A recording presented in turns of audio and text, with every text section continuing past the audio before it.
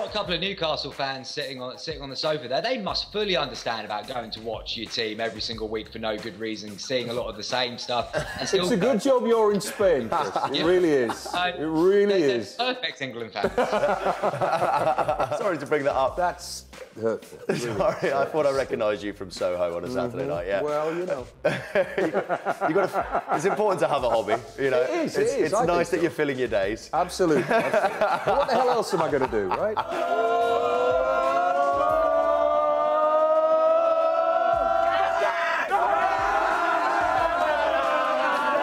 Was it upsetting seeing five Scotland fans make more noise than the whole of the Emirates? Wow.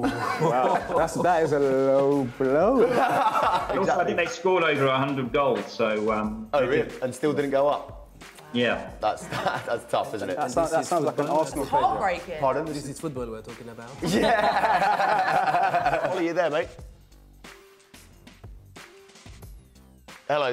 Wow! What that? Well done. So, so I mean, well done. Let's have a round of applause. Um, so, he's a Bournemouth fan.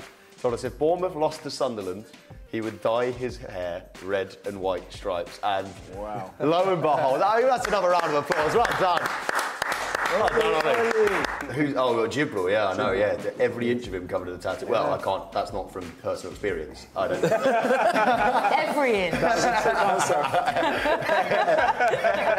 us more about every inch. It's going to manifest itself in North London next year. Definitely. It's going to be lit. It's going to be lit. It's going to be Lit. hashtag, Hashtag lit. And your guys, Manchester United, not doing very well at the minute. No, I just, yeah. Next.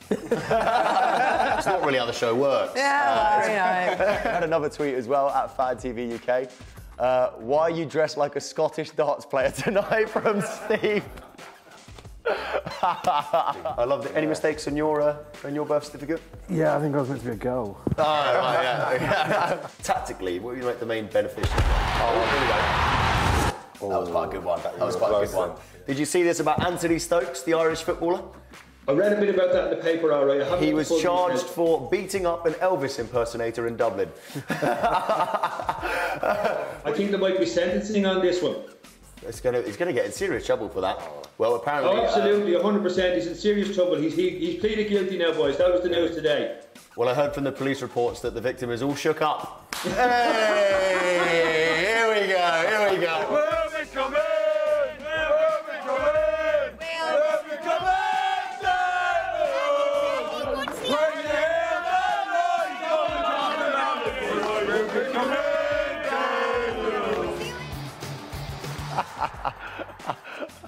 I could watch football fans forever, couldn't it? It's like it's like an insight into human nature, isn't it? You can imagine Attenborough commentating over the back of that. It's incredible.